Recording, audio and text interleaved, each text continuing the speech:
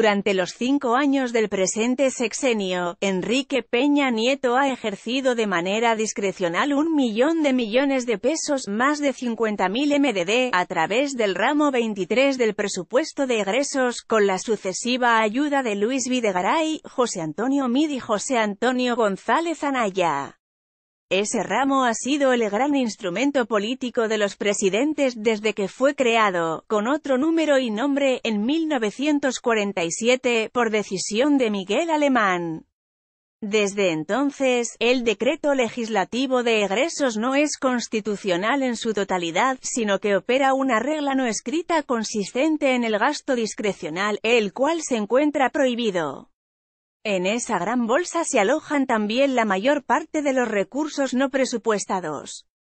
Solo el jefe del Ejecutivo puede administrar la caja negra, ver Pablo Gómez, los gastos secretos del presidente.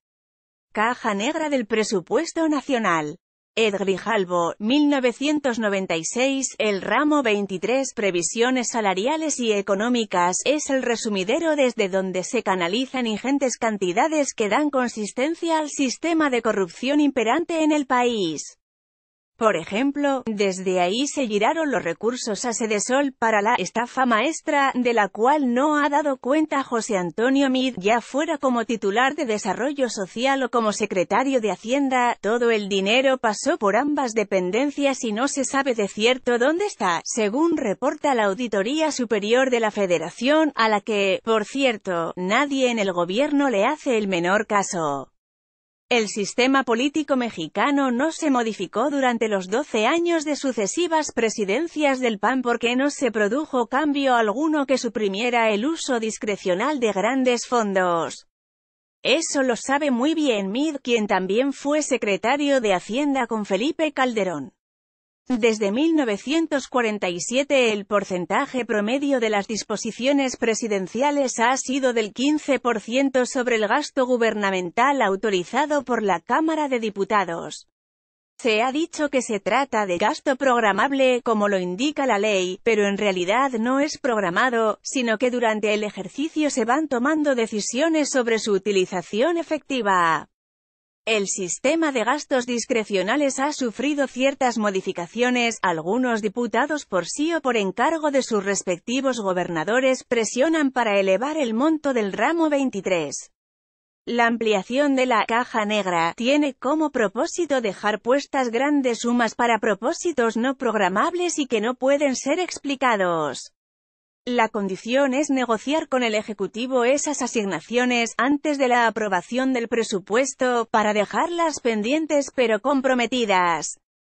Enrique Peña, por su lado, ha aprovechado esta situación para hacer repartos poco equitativos entre las entidades federativas, así como dejar de ejercer algunos gastos. Traiciones entre socios, mal reparto del botín que ha generado algunos resonantes pleitos. La fuerza del Ejecutivo no depende de su liderazgo, de sus convocatorias y propuestas, sino de la cantidad de dinero que él pueda repartir. El Estado corrupto funciona amarrado al presidente de la República, lo cual se reproduce en cada entidad federativa con los gobernadores y el jefe de gobierno de la CDMX. La lucha contra la corrupción no depende de un demagógico sistema nacional.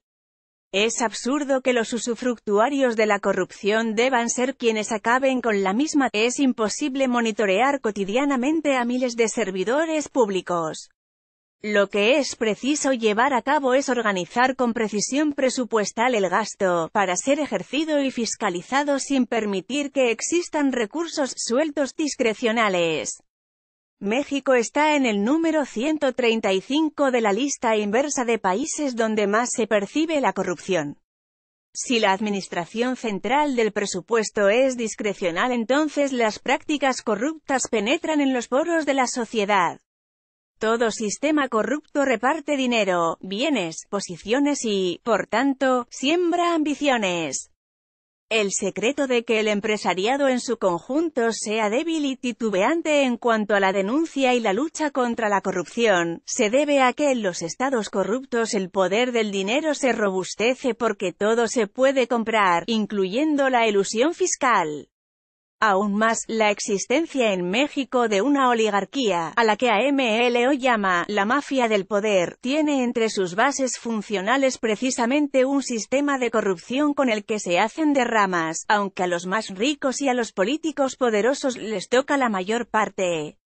La corrupción en México ha funcionado como acumulación capitalista originaria, pues ha sido fuente de inmensas fortunas que tienen forma de bancos, fábricas, empresas de servicios, comercios, etc.